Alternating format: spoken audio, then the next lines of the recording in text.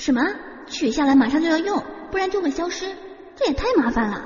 我不是得把白剪珠也给带上？金飞瑶无语的听完了华婉思当着白剪竹的面把怎么治疗眼睛给说完后，气呼呼的传音问道：“世道经传了消息过来，找到了破三头猪眼瞳毒液的东西，得要凌云神界的天雪凝晶。这东西是冰霜堆积上万年后自然形成的血晶，正好凌云神界终年风雪，也听说有人寻到过，所以直接就让金飞瑶去找。”反正正好有人就在这里，而且这血晶啊，只要离开所处的雪坑，在百息之内就会消失在了空气之中。如果要用它来解毒，就得把伤者也带过去，弄到天雪凝晶，马上就要滴入眼中。此物寒气极重，滴入眼中，人便马上会失去知觉，全身如同冻住了一般，得七七四十九天才会慢慢苏醒。这也是一种疗伤的办法。让人失去知觉后痛苦会小一些。没想到要的东西竟然就在凌云神界，正好便宜了自己。还好，就算是要带着白简竹，也要四十九天的缓和时间。趁着这个时机，在他能看到之前，把人给送到世道京去。金飞瑶想了想，就把自己的想法同华婉思说了。华婉思也同意这样。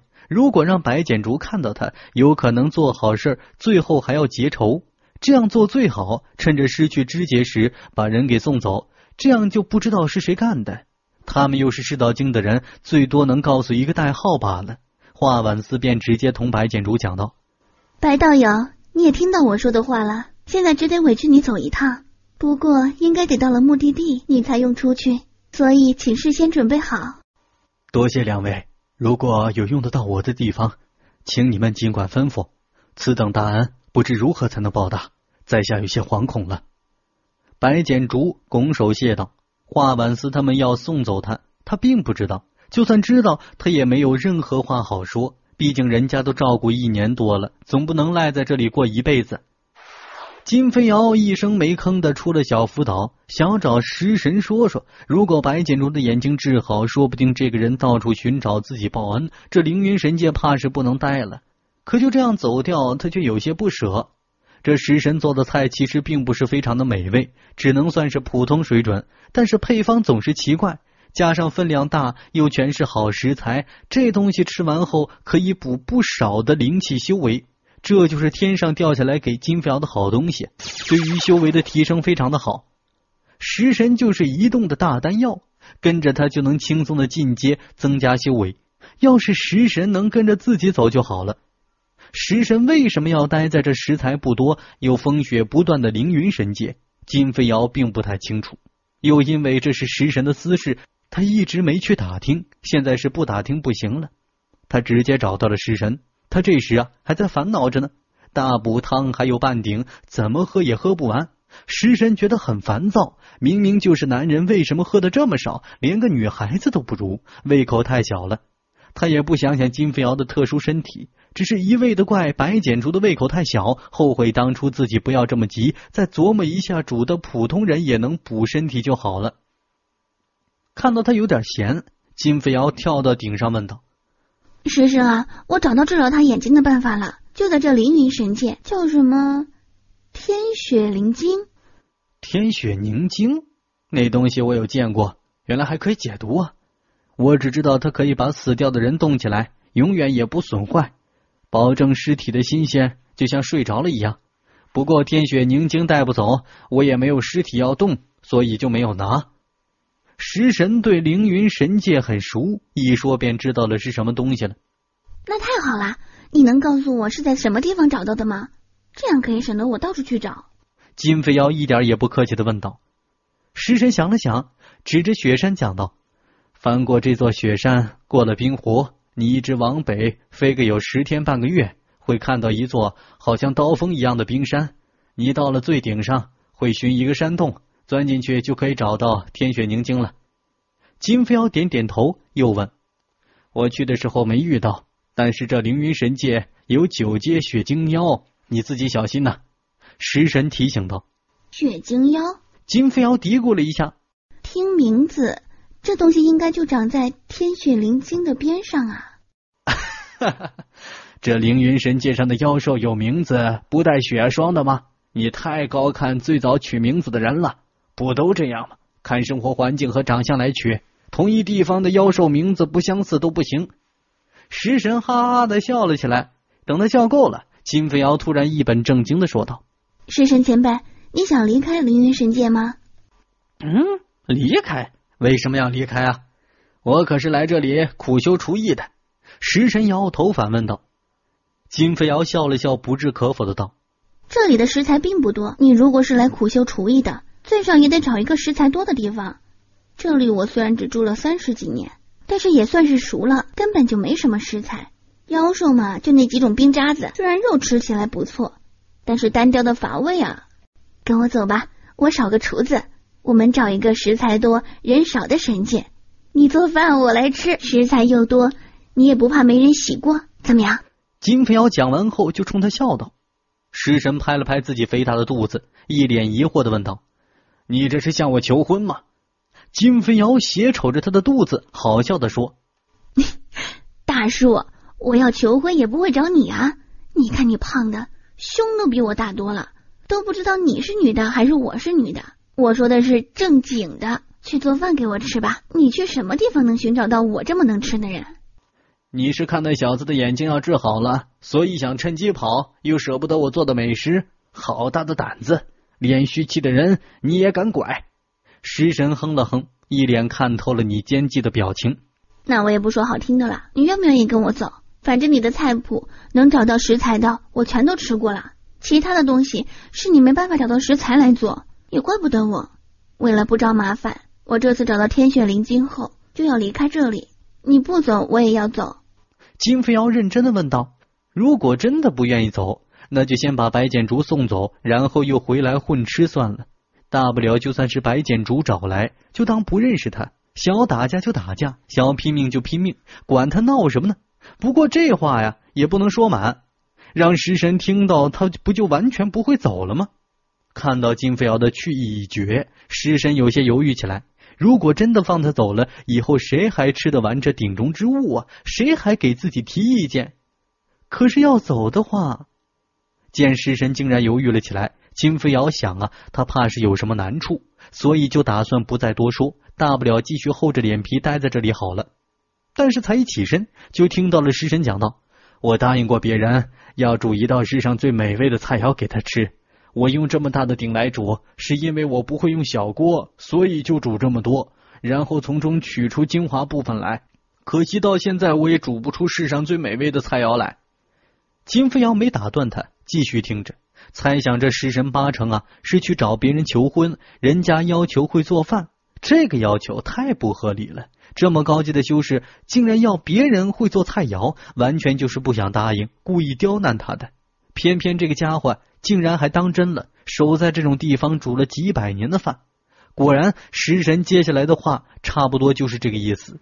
就看到他一脸沮丧的说：“那人是百味楼的大小姐。”八百年前就已经是名炼虚修士了，而食神当年根本不会做菜，只是听说百味楼的菜肴是整个神级界最好的，里面的菜有些要极品灵石才能买到，吃了能增加寿命。提到了修为，连瓶颈都可以冲破。他不相信有这种事情，肯定是百味楼想骗修士的钱才乱吹的。如果这种事情都能做到，别人还炼丹干什么呀？弄点肉啊菜的炒炒煮煮就可以飞升天级界了。于是有一天他很无聊，又正好路过了百味楼，就脑子一热走了进去。本想点一大桌子的菜吃吃，好让百味楼的人看看自己的豪气，最后再骂他们的菜难吃，完全就是喂猪的。说到这时，金飞瑶愣了一下。先去吃一桌，再骂别人的菜是喂猪的，不就是骂自己是猪吗？嘿，不过他更关心的是百味楼菜的味道，而不是猪的问题。于是他赶快问道：“后来呢？那些菜的味道怎么样？”食神一脸哀怨的看着他，缓缓的说道：“嗯，就吃了一道泡菜。”啊！金飞瑶诧异的看着他，非常的不解：“你不是说去吃一桌的，怎么就一道泡菜？”就那道泡菜还是免费送两块给你尝尝，里面根本就没有空位，而且一个包子就要卖百块上品零食，而且那不接待临时去的客人。说是菜肴用料精贵，最少要提前百年预定。呃，这还只是普通的菜，用极品零食算的菜要提前三五百年。所以我站在了门口，被人用白送的两块泡菜就给赶了出来。食神无奈的讲道，脸上的神情还有些尴尬。金飞瑶一脸茫然的看着他，什么？食神到底讲了什么东西？传说吗？一个练虚期的修士去吃饭，连个味儿都没有给他做，赏了两块泡菜就打发掉了。他咂咂嘴，好奇的问道：“那泡菜是什么泡的？好吃吗？”食神顿时没好气的骂道：“你到底在听什么东西啊？重点不是在泡菜上。”不好意思，习惯了。金飞瑶呵呵的笑了起来，请他继续说。后来呢？你吃了两块泡菜就想娶她啦？提到吃的，金飞瑶就非常的高兴了，兴致勃勃的问道。食神眼睛一瞪，怒气冲冲的说道：“谁会这样干呢？最少也得吃碗玉容珍珠饺吧？”玉容珍珠饺那又是什么好东西？金飞瑶的注意力都被吃的给吸引住了，几乎啊快无视食神了。食神觉得有点烦躁，自己一个炼虚中期的修士，难道还比不上两块泡菜和一碗玉容珍珠饺吗？不过说起来，那饺子的味道还真是好，只是碗最便宜的东西竟然如此的好吃。提起这个，食神突然觉得有些馋了，果然是印象太过深刻了，再拖下去可能越扯越歪了。食神赶快长话短说，他当时就吃到了两块泡菜，虽然味道很不错，但是几十上百年不进食的辟谷竟然无效了，肚子瞬间就饿了起来。食神堵在了门口就闹着，脸虚竟然还有这种待遇，就和尾巴被踩了一般，不依不饶的就闹着要吃，如果不给吃就要砸店。百味楼很小，只有上下两层，楼下只有两张桌子，楼上他没上去过。不过猜测啊，也和楼下差不多。他闹着要冲到二楼，看着是什么人在上面吃饭，没想到走到了楼梯口就被人给挡了下来。说是挡啊，其实是堵。一个长得很圆润的女子从楼上下来，就把整个楼梯给堵得严严实实。她手上端着碗饺子，满脸带笑的讲道：“道友这么想吃百味楼的东西，我很开心。但是真的得预定，不然就没有多的食材。”如果道友不嫌弃的话，就吃我的这碗玉蓉珍珠饺吧。这是我用来做点心的，可以分给你。女子满脸笑容，不急不躁，和颜悦色的瞧着他，胖乎乎的手上端着那碗玉蓉珍珠饺。食神很想拒绝，想大手一挥就把这碗猪食打翻在地，然后霸气的大吼一声：“你这是打发叫花子呢！”但是那碗里面飘出了一股香气，死死的扣着他的脖子，让他浑身不舒服。而那女子依旧笑眯眯的讲道：“如果不好吃，我把面给你，你也可以砸了我的店；如果好吃，你就自废一层修为。白味楼可接受不了闹事的人。”听到这儿，金飞瑶咂咂嘴，真是霸气的女人呐！用碗玉容珍珠饺就直接赌命了。我输了，我算不上什么好人，所以是打算不管多好吃也要说难吃。但是只吃了一口，我就只能说好吃。尸神长叹了一声，不知道是感伤自己失去了那一层的修为，还是在回忆着那饺子的味道。不会吧？金飞瑶很诧异的看着他，竟然连不好吃也说不出口。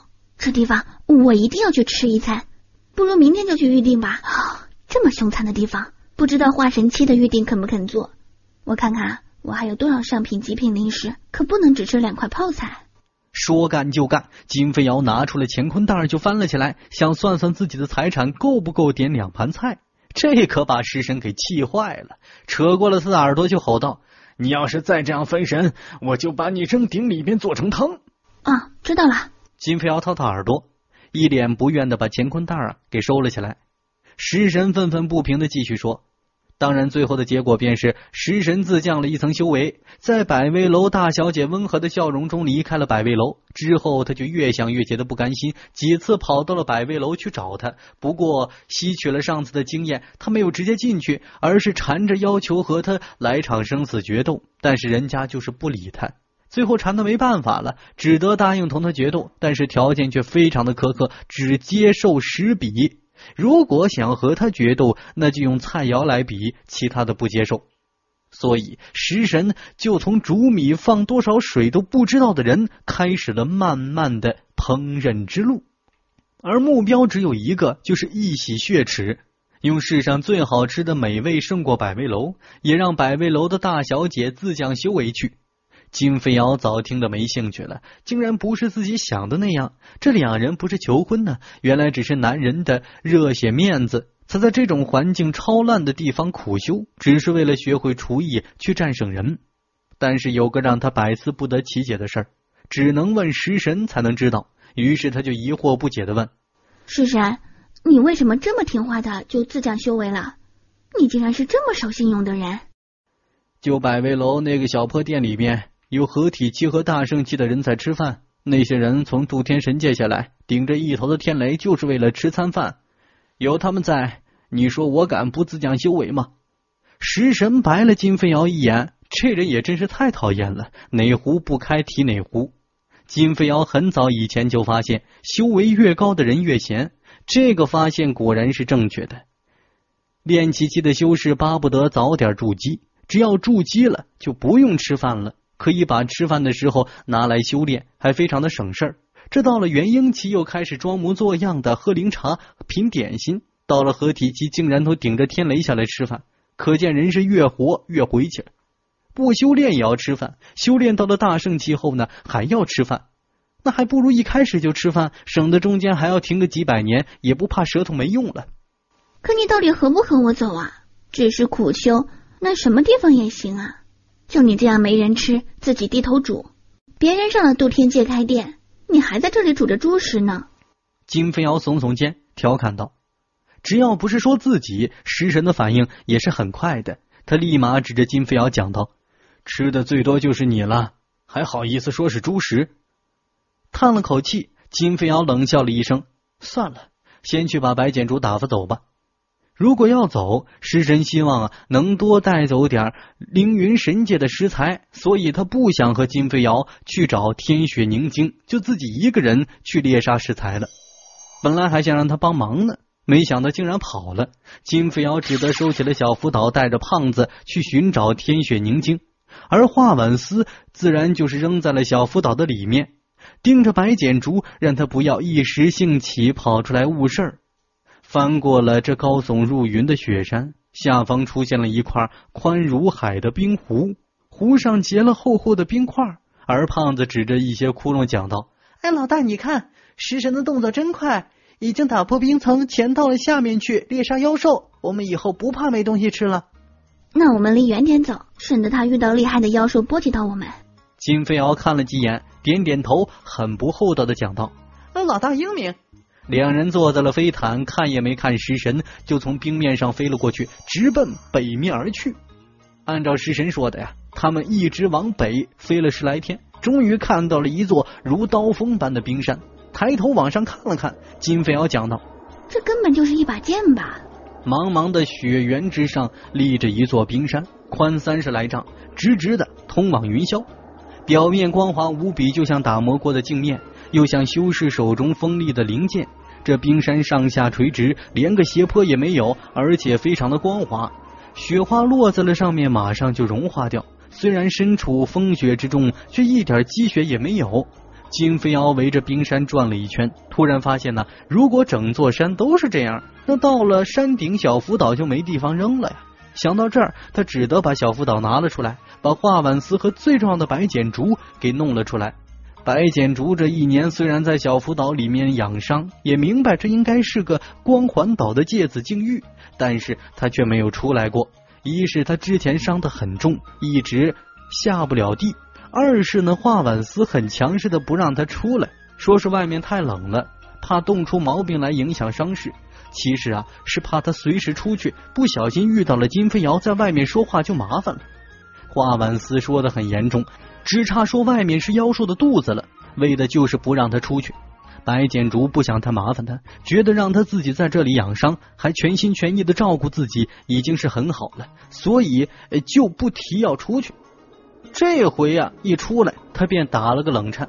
外面果然非常的冷，金飞瑶皮糙肉厚，不用灵力抵抗风雪都不会这么冷。花婉思根本就没啥感觉，所以没觉得冷。白简竹可就不一样了，灵力不能随便乱用啊！出来也不知道外面真就这么冷，顿时就给冻了一下。金飞瑶从乾坤袋中拿出了一件雪暖兽的毛皮披风，扔在了白简竹的手中。华婉思啊，帮他给穿了起来。这种雪暖兽的毛皮果然是上等取暖之物啊！穿在了身上，白简竹立马就不怎么冷了，就算不用灵力也可以受得了。对于他们的好心，他又谢道：“刚想把人拉上了飞毯，金飞瑶突然记起了白简竹认识这东西，他顿时赶快看了胖子一眼，眼睛往飞毯上扫了一下，胖子就跑到了白简竹旁边，拉着他手说：‘哥哥，你跟我来，我们要上飞板了。’飞板？这是什么法宝啊？”白简竹愣了一下，胖子便开心的说：“就是一块平平的大板子，是我亲自练来玩的。”上面我还放了垫子，平时就用来睡觉。他们的飞行法宝全是剑的那些东西，太小了，我不喜欢。你试试看我这个，可好做了。看着白简竹一点也没察觉，跟着胖子上了被金扶摇用灵力弄得硬如铁板的飞毯。金扶摇觉得这家伙脑子也太单纯了，就不能怀疑一下吗？不就是救了你一命吗？照顾一下伤势吗？竟然就说什么信什么了。